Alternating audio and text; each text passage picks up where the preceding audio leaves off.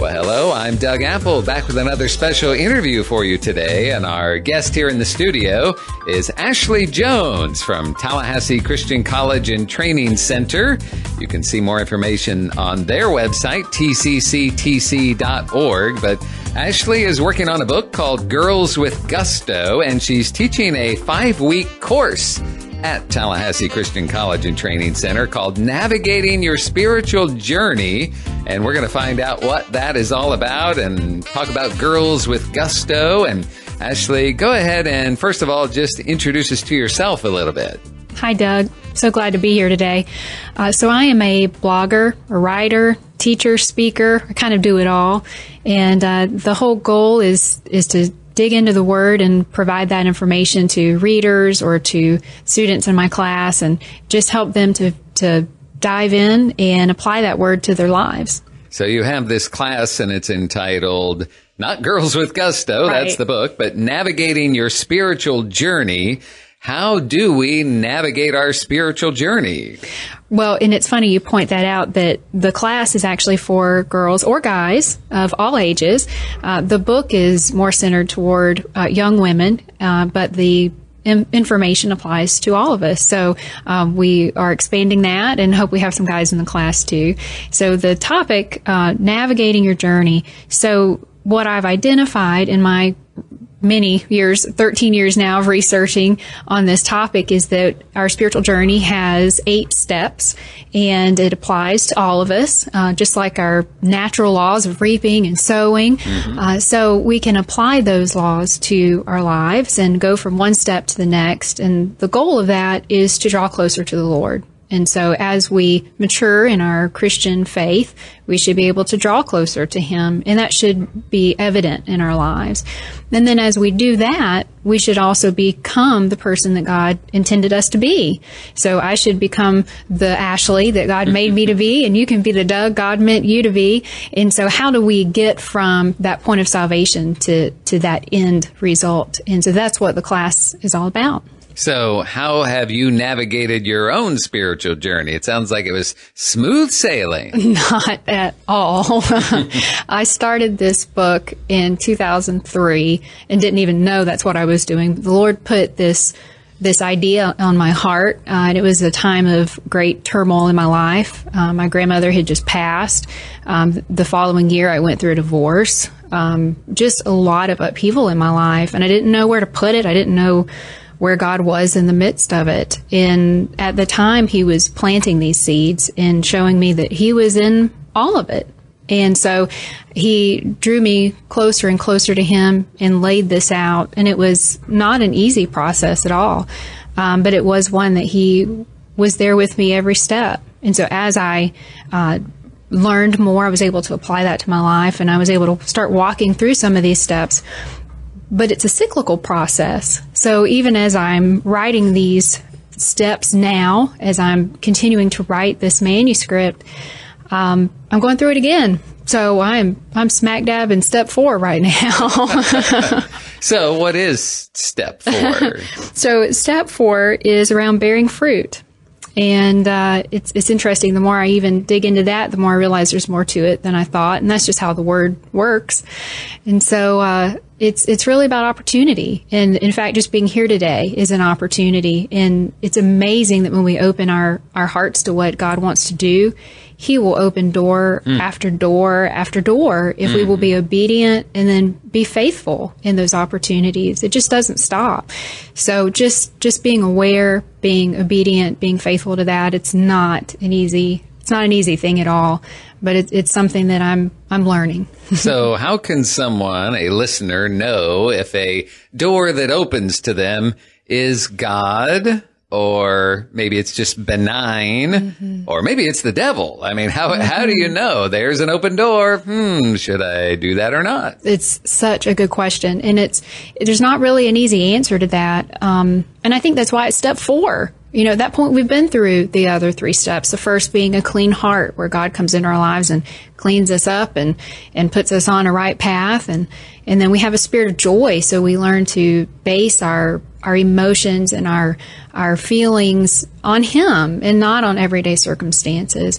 And then um, we have uh, a disciple's disposition. So we're learning to walk from day to day and to be obedient. So by the time we get to bearing fruit, we have a, a, much deeper relationship with the Lord than we did on day one. And so that door is a little bit more evident to us.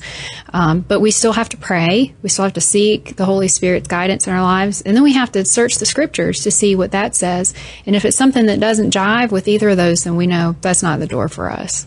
Now, what would you say to someone like I had a gentleman tell me the other day, and I was just talking about the fire of God and, uh, you know, uh-huh. feeling that fire in your life. And when you read the Bible and the Holy Spirit stirs within you and yes. makes something jump off the page at you, or a door opens and, and the Holy Spirit leaps within you and says, do it. Or don't do that no matter what. Don't do that. Right. And he said, well, you know, um, I don't think most Christians are there. What's your comment on that? Yeah. Uh, I was very surprised as I started speaking about this topic and even speaking in churches about this topic that there is a disconnect and I, I, really had to seek the Lord on that because I don't want to say anything that offends Christians or is a stumbling block. That's a, that's a major um, goal of mine is to never ever be a stumbling block for a Christian. So I really had to, to seek Him on this because I'm I'm hearing some Christians say that sort of thing, and and I I would agree with what he's saying that there are a lot of Christians that just aren't there and. I think that underlines the reason and importance for this because we need to see that there is a maturity um, that we should attain in the Lord. And it's going to feel different with everybody. We're all going to have different circumstances and um, we're, we're going to have um, different roles within the church. So it's amazing to think about the fact that there are steps that apply to each of us and mm. what those are, no matter where we live or how old we are. Uh, or what our backgrounds are, but I was just thinking this week. It's it's like when you have a a friend who has a child and, and the first thing you think is, oh, it's this perfect, healthy, beautiful little baby. And that's what you hear. You hear, see the pictures mm. and you mm. hear all the fun stuff about the baby. And then you start asking a couple weeks later and you start hearing things like, oh, well, they're in the 90th percentile of their age, and, you know, height and weight and, and communication skills. And, and for years, that's what you hear. How do they measure up, mm. you know, with the standard? And the idea behind that to make sure that they're getting what they need. You know, if, if they're underweight, they need better nutrition. Mm-hmm. And if, if their communication skills aren't up to par, then they need help. And so it's not to burden or hurt the child, it's to make sure that they're on the right track. We don't have that in the church. Mm-hmm. So you have a, a new Christian get saved on Sunday and the next week they're off on a missions trip. and then the next week they're not in church anymore. And we wonder mm-hmm. what happened. Mm. And so I've been through this. I've, I've been through it myself personally as a young person in the church and just felt very aimless and did not know what I was supposed to do, what the next step was. And I knew there was more, but all I could think of was praying more and reading more. And I thought, well, at some point, there's not going to be more. It won't be any more hours in the day. And, what, and what's, you know, what am I supposed to do with that information? Mm-hmm. So I think the idea here is that as we become Christian, as we meet the Lord and we start to figure out what that means and how we live that out, that there should be a standard that we that we learn how to apply that to our lives. Am I, am I falling behind? Am I, and not in relation to other people, but in relation to the Word? Um, am, am, I really connecting with the Lord? Am I really applying that to my life? Or am I still selfish? Am I still in sin? Am I, am I still struggling with demons I shouldn't be? And so letting us figure out where we stand and then get the help we need from the church body to, to move forward. Well, one thing I'll address that you mentioned, and some people might think, especially if they're hungry for the Lord, but they're sort of aimless or not sure what to do. And one thing they might say is, I need to read the Bible more. I need to read the mm-hmm. Bible. I need to read a whole chapter. I need to read a whole book. I need to read the, the, through the Bible in a year. I need to read through it in six months. I better read through it every month. I need more Bible, more Bible, more Bible. And I'm all about the Bible. I believe in memorizing scripture. I've read the Bible through, study the Bible daily. So I'm all about the Bible. But let me add to this because a phrase we throw around a lot is our relationship with God. Yes. Your relationship with God. Okay. Yes. Well, here's one way to tie in the Bible and your relationship with the real, true, living God who lives inside every believer. All right. And that is this. And I go back to the men on the road to Emmaus. So Jesus has died. He's resurrected. Two men are walking from Jerusalem to Emmaus. Jesus walks up and begins talking and teaching them. They don't know that it's him until they get to Emmaus. They go in, they start to eat. He, he has the bread and he disappears. So then, but they say to each other, one of them says, did not our hearts burn mm-hmm. within us while he opened the scriptures to us? Right. Now say it again. Did not our hearts burn within us while he opened the scriptures to us? So now back to your own personal Bible reading. There you are, and we're tying together mm-hmm. Bible reading and your relationship with God. So you're reading the Bible. It's not necessarily about the volume of your reading, mm-hmm. but it's about the the Lord opening the scriptures to you. That's in the relationship part. Exactly. And and and the uh, phrase make our hearts burn within us. Mm-hmm. And so I love that phrase and so I'll, often I'll encourage people hey, pick up your Bible and start reading, but be watching for God to make something jump out at you mm-hmm. or make your heart burn within you when he opens it to you. See, those guys on the road to Emmaus, they probably knew the scriptures, but there's one thing to read them, study them, learn them, and know them. And it's another thing entirely to have the Lord open it to you.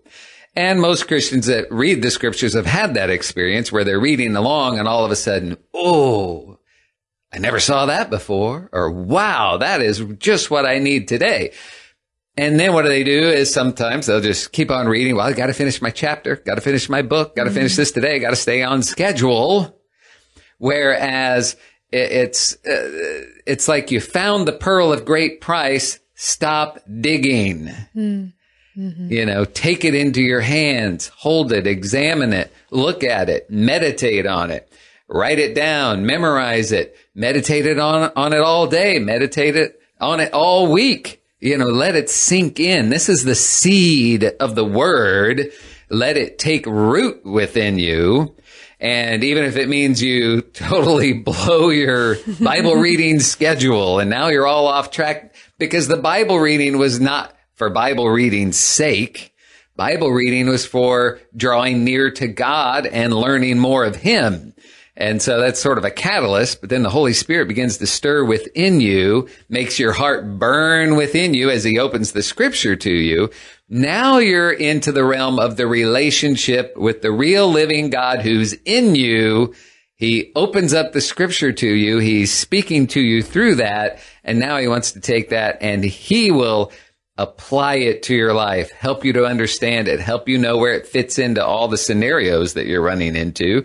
And then when you see open doors, uh, that door pops open. All of a sudden that, that scripture that you meditated on 20 years ago comes back up within you as once again the Holy Spirit saying, Hey, remember what I said about this? Uh, that applies to this open door. So it's about that relationship with God. So that really got me off on that little uh, rant right there. I, I completely agree, and I love the way that you put it.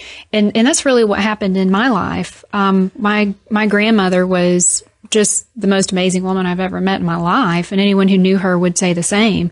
And when she died, it, it sent us in turmoil. Mm. And I knew that when I saw Proverbs 31, I knew that was her. Mm. That, that that just she exemplified that chapter in every single way. But I didn't. And mm. so I felt a lot of guilt and a lot of condemnation when I read that. And I didn't know what to do with it. And I wanted to just kind of set that aside and say, well, that's, that's awesome. That makes me think of her. And that, that has nothing really to do with me right now. And I couldn't. The Lord kept bringing me back to it. And at one point, I just didn't want to hear it anymore. I didn't mm. want to hear sermons on it. I didn't want to read books on it. I didn't want it anymore. And he kept bringing me back and kept bringing me back. And he said, no, there's more to this. Mm. You're not seeing it. Read it again. Read it again. And I kept seeing things that didn't make sense to me and, and that made me question. And every time he would say, see, keep going. There's mm-hmm. more. And so he set this in front of me as something that he wanted me to dig into. And, and like you said, there were, I was already in Bible classes. There were a lot of other things that I had to be reading mm-hmm. and I did. Um, and I, in fact, I, I finished my master's at the Tallahassee Christian College in 2010. But this one little chapter with just 31 little verses in it mm. is what the Lord centered in my life. And I had, really didn't have any control over that. And so I totally agree that we have to be responsive when the Holy Spirit leads us into something. We can't really push that aside. We do need to be obedient to that and faithful to the fact that He's putting that in front of us for a reason and a purpose. And, and it all comes back to His glory. So we need, we need to be obedient. Um, so I, I completely agree. And sometimes we do let our religion and our um, our desire to check the box override mm. God's ability to move in our lives. And um, and that's one thing that as I share this with folks, they they say, "Oh, steps. Wait a minute, there's steps. Wait, I, I, don't know about the, these steps that you talk about. You know, I'm saved. Mm-hmm. I don't I don't need steps. no, no, no. It's not steps to salvation. We're all clear on that. Mm-hmm. You know, thank, thankfully, the Lord did what He did, and, and we stand on that. Um, and, and that should not ever be undermined. But these are steps to drawing close to Him. And I've even had some folks question that. Mm. Well, do we need that? And, and, uh, that's to me a sad commentary on the church. Uh, yes, yes, we need to draw close to the Lord, and and it might be that eight steps makes sense to me, and four makes sense to you, or mm-hmm. maybe a mm-hmm. different word instead of steps, maybe levels, or just just days, or something mm-hmm. like that would make better sense to you and that's fine. That's that's our worldly uh, context coming into play. But the idea that that we need to run the race, that that we need to box with you know without beating in the air, there are things we need to do to draw closer to the Lord, and mm-hmm. we need to fight against our flesh and against the enemy that comes against us. We need to take up all the the tools and techniques that the Lord gives us and not keep them laying on the ground. You know, as a as a church, as individuals, we we need we need to do what the Lord calls us to do. So, um, I think it all kind of fits together, like you're saying. But it's mm. it's not a check the box activity for sure. well, I want you to answer this after I reintroduce you and talk about Tallahassee Christian College and Training Center. But uh, I want you to answer this question because we you talk about, you know, follow the leading of the Holy Spirit or, you know, knowing that the, the Lord's in it or however we want to phrase it. The question that people often ask is, how can I know that it's God and not just my own mind? Mm. So you think about that for a second. I'll remind our listeners we're talking with Ashley Jones. She's a writer, blogger, teacher, speaker, and she is a teacher at Tallahassee Community College and Training Center. You can see more information about their classes at tcctc.org. Those initials stand for Tallahassee Christian College and Training Center. And Ashley Jones is teaching a five week course coming up here in the fall semester called Navigating Your Spiritual Journey. And she's also working on a book called Girls with Gusto, which we'll get into in a little bit. But first, Ashley, let's answer this question. How can somebody know that it's God leading them or motivating them or speaking to them rather than just their own mind running amok? It, it's a great question, and I think it's one we've we've all asked. Um, even just this past month, I had a decision to make, and I just really didn't feel God pressing an answer on me. I really didn't feel the the clouds part and the Lord speak, and mm-hmm. and I, I, didn't know. And uh, in in my situation, the Lord gave my husband the answer, and I had to be obedient to that. And and then once I accepted the fact that maybe God wasn't speaking very directly to me, mm-hmm. um, it, it, I had total peace about it. I knew I knew that that, that was right. Um, I think the I think that question really has to first be answered by another question, and that is, do you know the Lord? Mm. Um, a lot of people say, well, we, we talk we talk about Christianity in terms of this this thing, this religion, this idea, mm-hmm. and we forget that Christianity means we're we're following the mm. person mm. of Jesus, who is the Christ. Mm-hmm. So if you know the Lord and you know what He likes and what He doesn't like, and you know um, His his personality, if you will, then then I think it's a little bit of an easier question to answer. Um, you know, the, the Lord would never lead you to do anything against himself. He's always in agreement with himself. And so if, if there is something in the word that speaks against it, then you know it's not of him. Uh, if, if you're, if you have total peace within your spirit about it, um, and I know that's kind of a vague statement, but if you do have peace about it and, and you know the Lord, you've walked with him for any length of time, you, you can get to that point where mm-hmm. you just know, you just know that's where the Lord's leading you.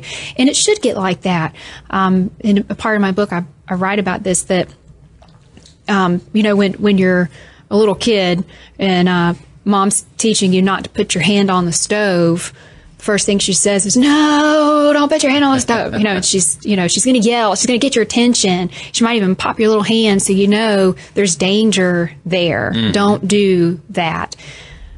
But as we get older, we shouldn't need mama to yell at us. Uh, in fact, most of us are very familiar with that look mom gives, you know, where those eyes just, just bore into you and you know that's, that's something you don't do.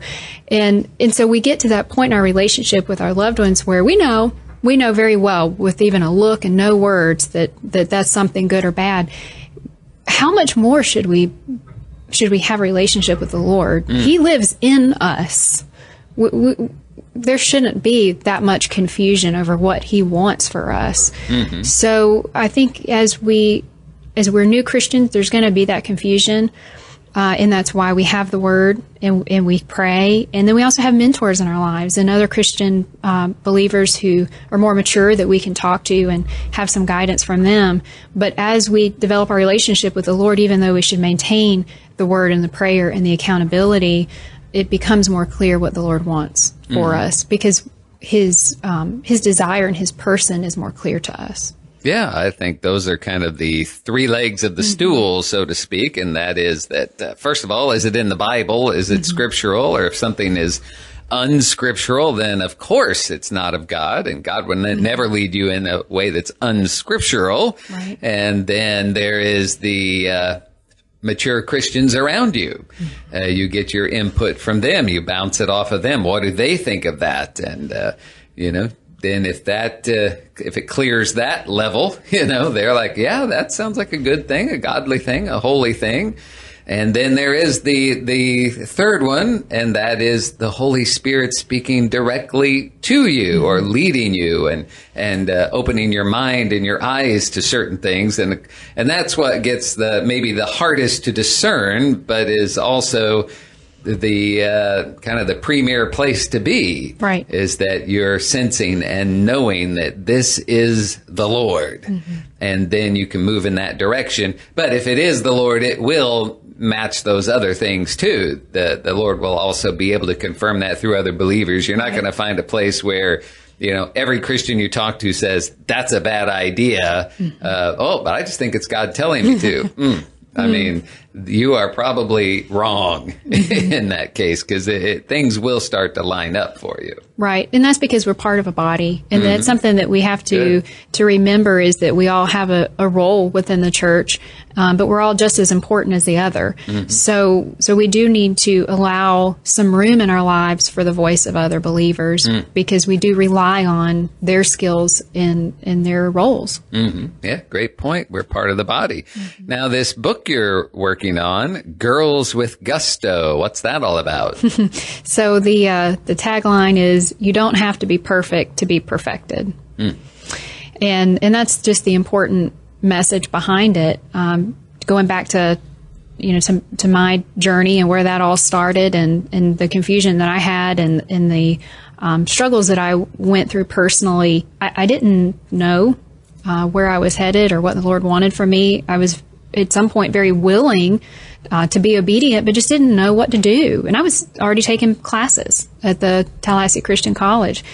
And uh, as he started to to unfold this topic of a journey to me, it it was astounding, and to see where I was on that uh, that map um, was was very challenging.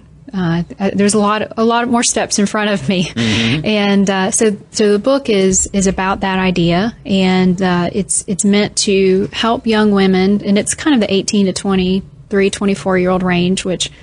Uh, I believe is where we really start to mess up because we have the freedom to do so. All right. And, uh, and it's to really step into the lives of, of those young women and and give them that roadmap. And that's that's what I call it. I refer to Proverbs 31 as the roadmap um, because in its verses I've identified those steps. But then I take it from there and pull in so many scriptures throughout the Word to flesh that out and say, okay, how do, how does how do we live this out? And and then how do we move? How do we advance?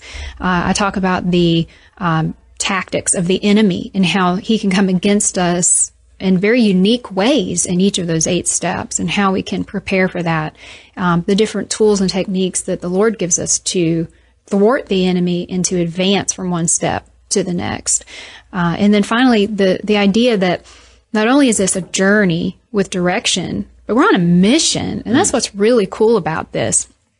I felt aimless because I didn't know I had a mission. I knew I had a role. I knew I had some gifts, but I didn't know what it was for. And uh, just like movies like Lord of the Rings and um, you know C.S. Lewis uh, movies, you know Lion, the Witch, and the Wardrobe, we we have a mission, mission, in our spiritual lives, and each of us are called to be the person that God meant for us to be. And and so, what's funny about that though is we're not really to seek that person. We're to seek the Lord. Mm. And as we draw closer to Him, we will become what He meant for us to be.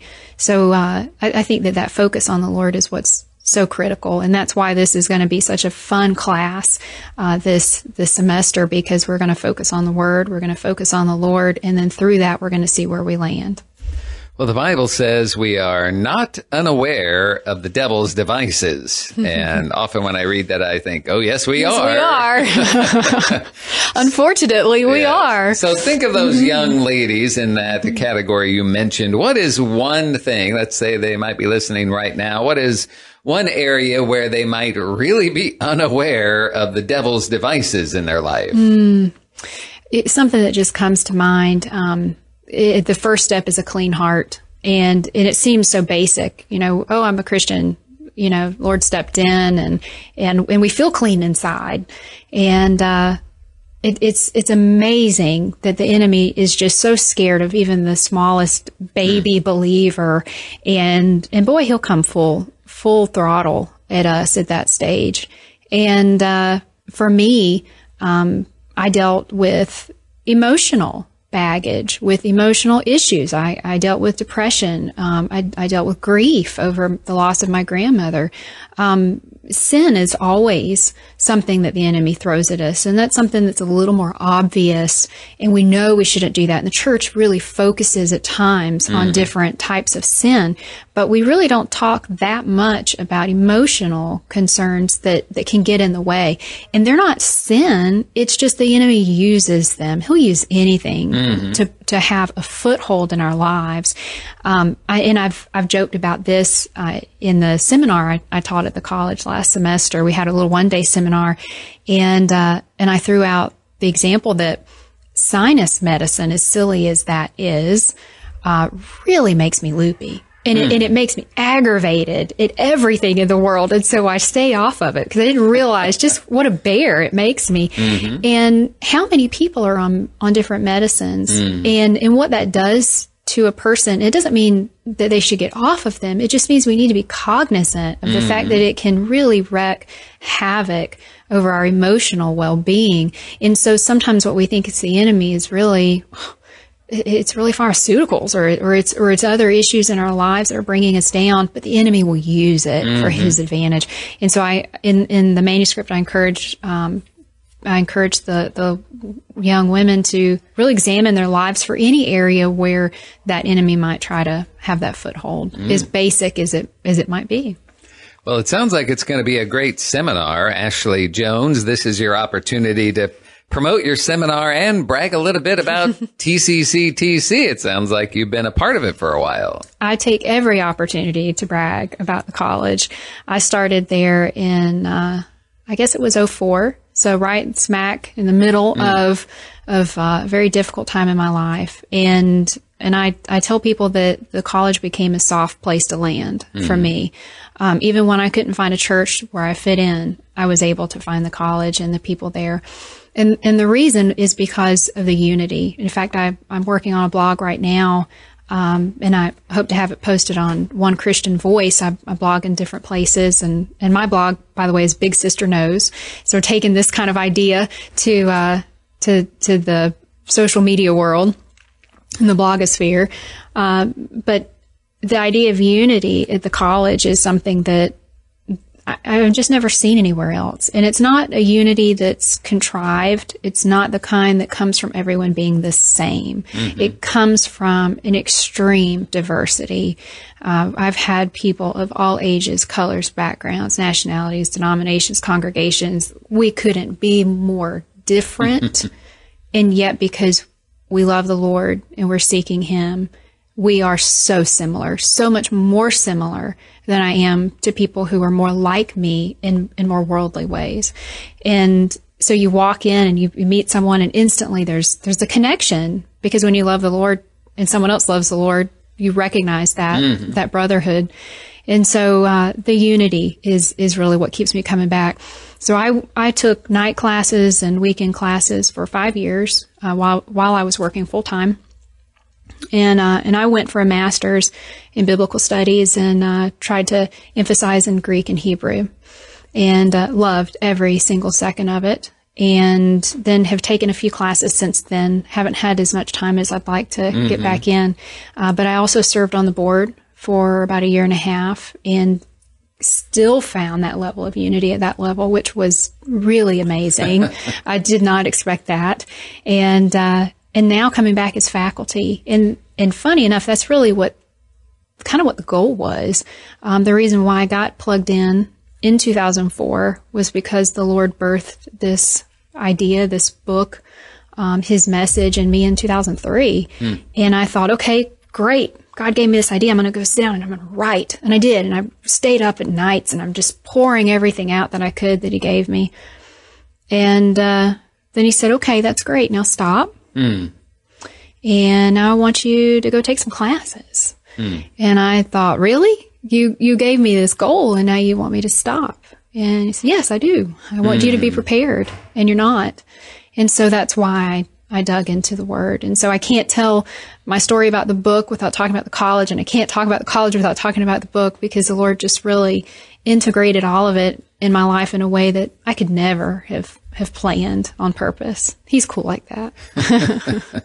well, now you have this uh, five week class coming yes. up in the fall semester. Invite people to come. Oh, absolutely. And you know, the college is open to everyone, Doug. So mm-hmm. um, even if if someone's listening who's curious about God and, and about this relationship and doesn't know much about it, they're absolutely welcome. We, we do have non believers come just to seek what it's about. Um, we have people who are seeking uh, degrees in seminary, like I was, and then we have folks who just want to audit, who, who just want to talk about the topic and, and dig into it. So everyone is welcome. Um, like I said, all backgrounds, all education levels. Uh, so that's what's really, really so unique about the college. Um, the neat thing about this class is that I want each student to walk away with a plan, and that's that's uh, spoiler alert. That's going to be our project for for this semester. So the idea is for the student to figure out where they are in their walk and what they need to do to get to the next level. It's not for me to say. It's not for any of us to say. It's it's an individual assessment, and I I cannot wait to see how the students are encouraged and challenged and what they come up with. Um, you know, they may identify those blocks, like we were talking about the enemy coming in. They may identify those ways and and decide, you know what, I'm not putting up with that anymore. What do I need to do to move on? And uh, it can be a life changing experience. I personally am going through this and, and can mm. attest to that. It, it's a it's a deal. It's a it's a um, change maker for sure. Mm. Yeah. Well, that's Ashley Jones. And again, her class is Navigating Your Spiritual Journey. And that's going to be coming up in uh, a five week class in the fall semester at Tallahassee Christian College and Training Center. You can find all the information on their website, tcctc.org. They also have a new location at 1717 Hermitage Boulevard.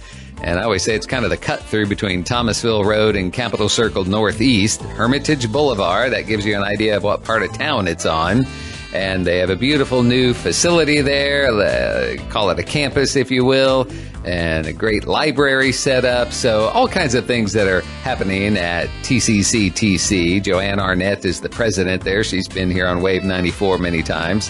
So, check it out and especially check into Ashley Jones's class, Navigating Your Spiritual Journey. And uh, Ashley, thanks for being with us today. Thank you, Doug. I appreciate it. And for Wave 94, I'm Doug Apple.